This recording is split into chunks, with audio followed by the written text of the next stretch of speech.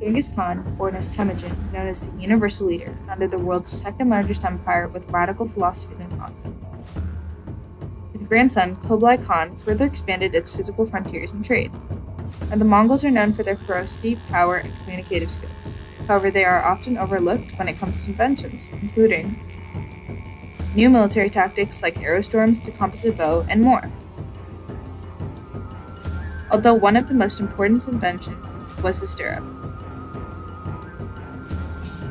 The stirrup opened up many possibilities, figuratively and literally, for the Mongols. It is still used by multiple horseback riders today. From stratagem to horseback riding, and also expanding the steppe frontier, the stirrup had a long list of advantages. Let's understand why and how it all played out. There has always been conflict between historians on who invented the stirrup. It is likely the Avars created it, but the Mongols are credited for spreading the use of the tool. Coincidentally, it is also said that the Mongols are descendants of the Avars who have died out. This also explains why the Mongols used real stirrups before anyone else historically. Anywho, the earliest depiction of the stirrup was on a seal from India back in 150 Common Era. Even though the stirrup was only used for the big toe rather than the entire foot, it's the closest portrayal of modern stirrup the historians have seen. There have also been engravings found what this strip was in India from 200 Common Era. They seem to illustrate a long rope that acts as a footrest in an L shape. However, both finds were nowhere nearly as helpful as a stirrup. Not only on seals, but they have been illustrated in other places too, like statues and dolls.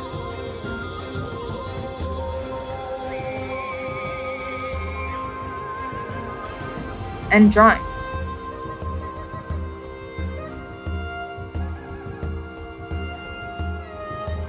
It is likely that the first stirrups were made of leather.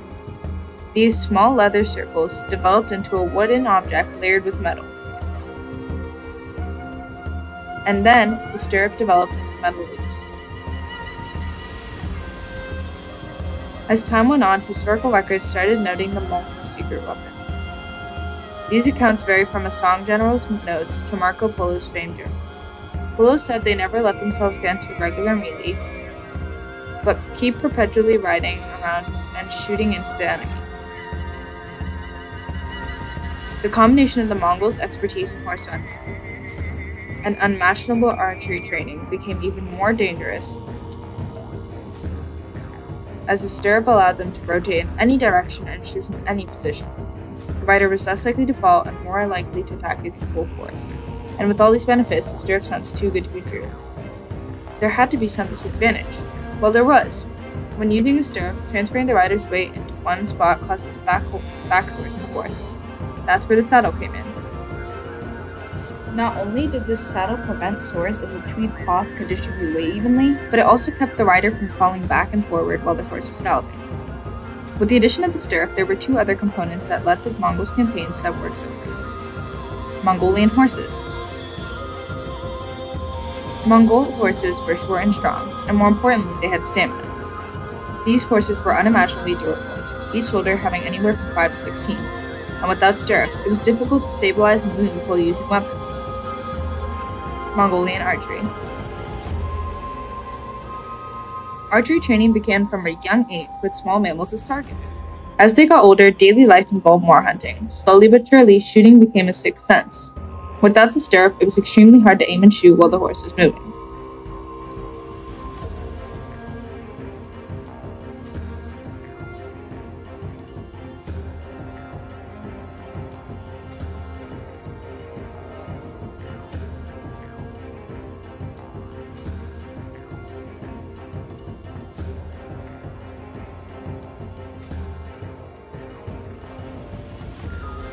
Since Western enemies such as Greeks and Russians preferred to fight on foot, battling the Mongols who had unmatchable speed, strength, and accuracy, accompanied with a gargantuan height difference, became a nightmare. The stirrup had also given them unprecedented speed. This allowed them to travel whopping 60 to 100 miles a day, which was unheard of at that time. And along with shortened time on the road, riding became much more comfortable too. The Mongols had an enormous well-trained cavalry, so how'd they use the boon of the stirrup to their advantage? The Khans and other generals started devising tactics. For instance, a variation of the infamous retreat. By using the smaller unit, the enemy is tricked into attacking, therefore falling into a state of weakness. However, while fleeing, the archers stand up and turn around to shoot. Without the stirrup, this tactic would be virtually impossible.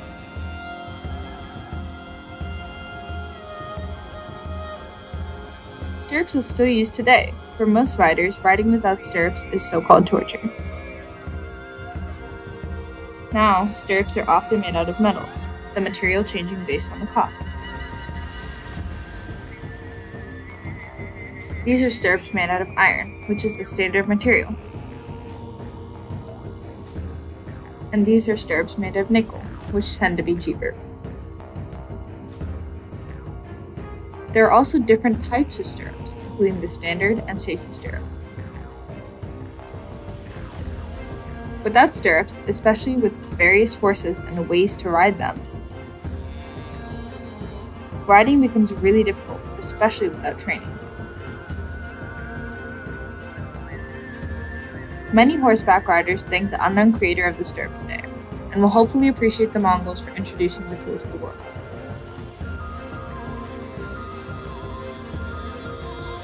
The stirrup created a frontier in military and warfare technology.